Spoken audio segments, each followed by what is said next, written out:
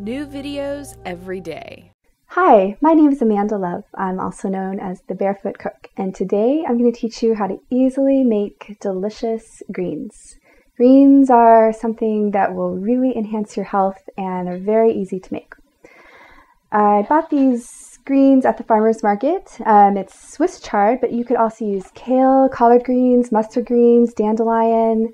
Um, you can even eat turnip greens. Um, cauliflower greens, uh, broccoli greens, arugula, spinach. There's all kinds of greens out there.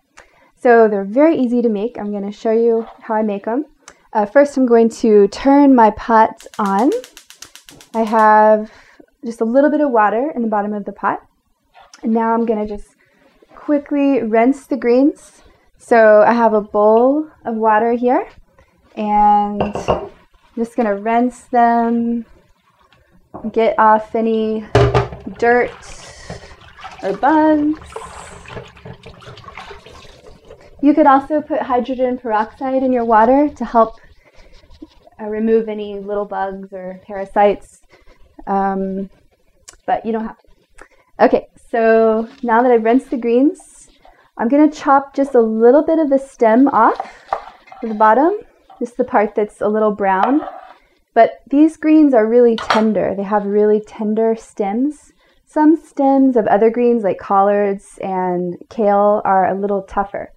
So you might not want to eat those. You can eat them. If you do, you need to cook them a little bit longer. So I'm just going to chop up the greens. Again, it's all in one bunch, so it's really easy.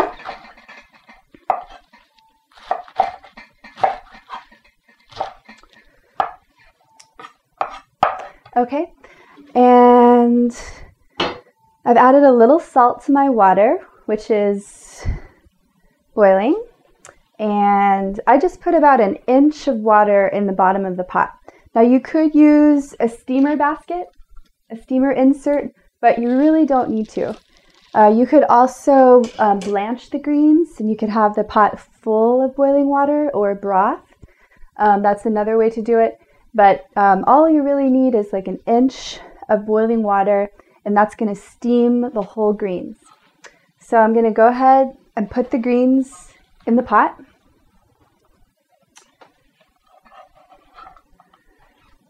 I'm using a Le Creuset pot. This is one of my favorite kind of pots to use. Um, it's enamel coated cast iron, and I really like the way it conducts heat um, it's a real quality pot. It's been around for a long time. This is the kind of thing that will uh, last forever. You can pass this on to your great great grandchildren. So now I'm going to cover the pot and give it a couple of minutes and just let it steam. Um, even though the water's at the bottom, the water, the steam is going to come up and just cook the whole thing.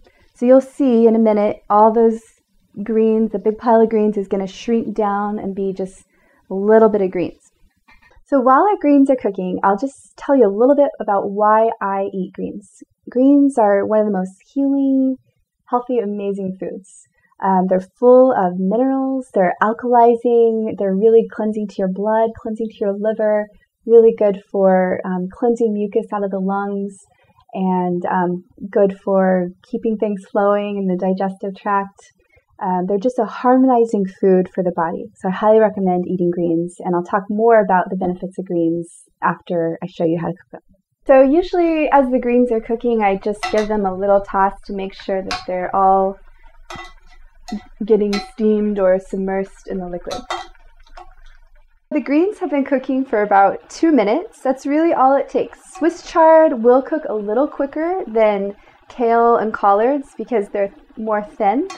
Um, the thinner the green, the quicker the cooking time. Kale, collards, thicker greens might take maybe three to five minutes. But Swiss chard, spinach, um, arugula, uh, mustards will only take about two to three minutes. So the way to test the greens to see if they're done is just to take a fork and if the fork easily pokes through the greens, then you know they're done. You just want them to be fork tender, basically. Now, I'm going to drain the water. And I'm doing this all in the pan, so I'm not making any extra dishes to clean up. This is so easy.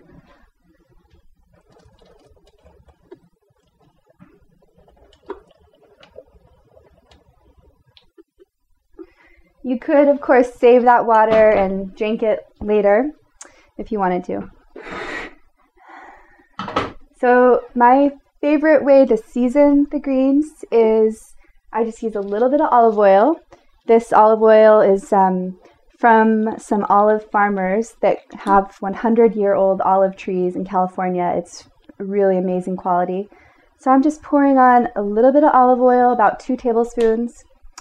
And then my favorite seasoning, umeboshi plum vinegar. I could not live without this stuff. I love it. I use it all the time. It's very alkalizing, very good for digestion.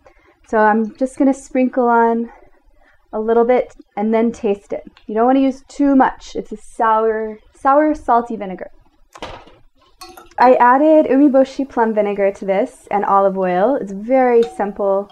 Um, I love umeboshi plum vinegar because it has such a unique flavor. It's got a sour, salty taste, which is really different than anything else.